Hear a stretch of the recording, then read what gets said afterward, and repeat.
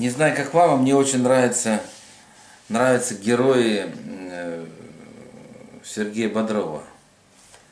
Фильмы. Особенно «Брат» и «Брат 2». Я очень часто их пересматриваю, эти два фильма. Знаю их хорошо.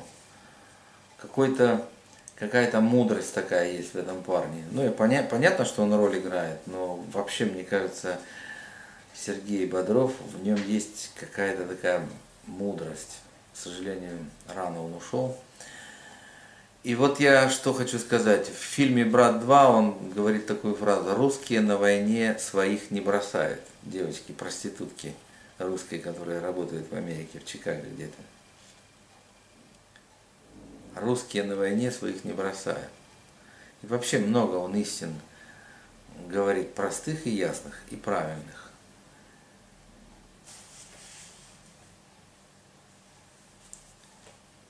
Полезная информация может быть подчеркнута из просмотра этих фильмов. Зачем я это вам говорю?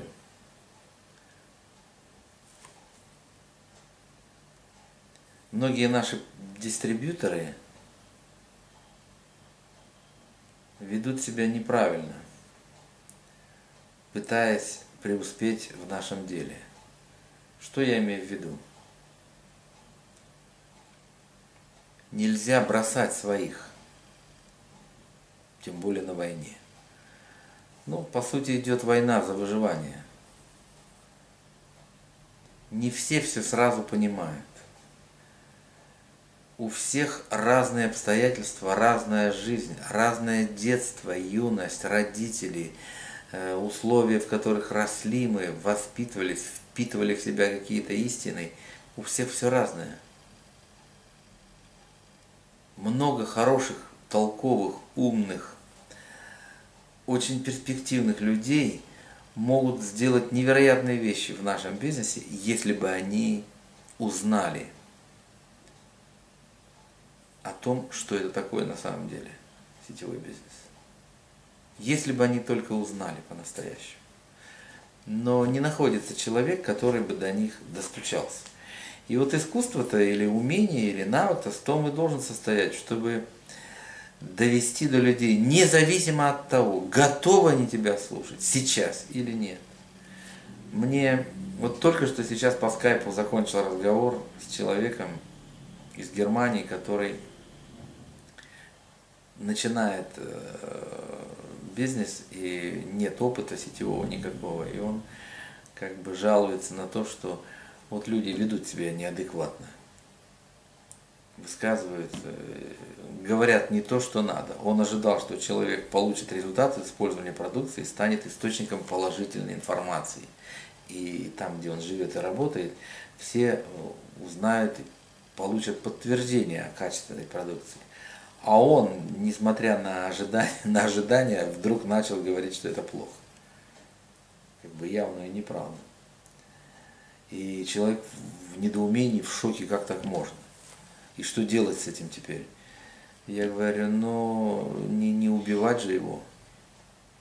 Прострелить ему колени, контрольный выстрел в голову и на этом поставить точку. Нет. И не обижаться, и не бросать его, и не отворачиваться, и не рвать отношений. Человек имеет право на свою точку зрения. И ты не знаешь, почему он так нехорошо для твоего бизнеса ведет себя тебе кажется, что он подлец, а он на самом деле, может быть, послан тебе для того, чтобы тебя сделать лучше. И ты ни в коем случае не должен его бросать, этого гада, в кавычках. Он вовсе не гад. Он нужен для тебя, чтобы ты стал лучше, чтобы ты что-то понял, что люди не обязаны продвигать твой бизнес. Ты на рынке, на войне, в борьбе. И он делает тебя сильнее своим поведением. А в последующем, возможно, он станет одним из самых лучших твоих партнеров. Если ты поведешь себя грамотно и правильно. Русские на войне своих не бросают. Это героиня, которая играет проститутку, ну, проститутка, вот эта девочка, которая попала там в передрягу в этой Америке с этим Бодровым на слова его о том, что русские на войне своих не бросают. Какой войне? Что за ты бред несешь? Очень раздражилась. Но потом, когда она летела с ним домой в самолете, счастливая, довольная, я думаю, она была ему благодарна, он ее не оставил. Он не сказал, ах, ты еще не реагируешь неправильно, ах, ты меня ругаешь, ах, ты не хочешь, ах, так ты... Он терпел. Любить надо людей. Относиться к ним по-хорошему, независимо от того, как они себя ведут.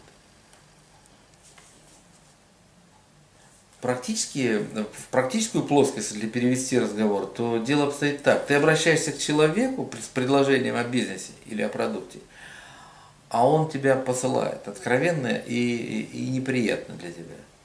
Это не означает, что отношениям конец. Нет, наоборот, это только начало. Почему он так говорит, никто не знает. Может, у него сейчас он не в настроении, может быть, у него сейчас что-то болит, может быть, он тебе завидует, потому что ты начал, а он еще нет, не в теме, и он не хочет, чтобы ты преуспевал. Может быть, он э, имеет какое-то извращенное представление об этом, где-то когда-то что-то слышал. Да мало ли какая причина у человека в голове. А может быть, ты ведешь себя неправильно, что скорее всего. Скорее всего, 90% причин, когда нам неправильно, на наш взгляд, отвечают – это то, что мы неправильно делаем предложение. Мы неправильно начинаем разговор, неправильно подходим к человеку. Но бросать человека неправильно. Отказываться от него неправильно. И думать, что все, скотина, никогда тебе больше ничего не скажу, тоже неправильно. Надо быть взрослым, надо понимать, что ты тоже так ведешь себя порой. Что сейчас то, что он говорит, ничего не значит. Потому что время все меняет. И сегодня его нет, завтра превращается в да. Если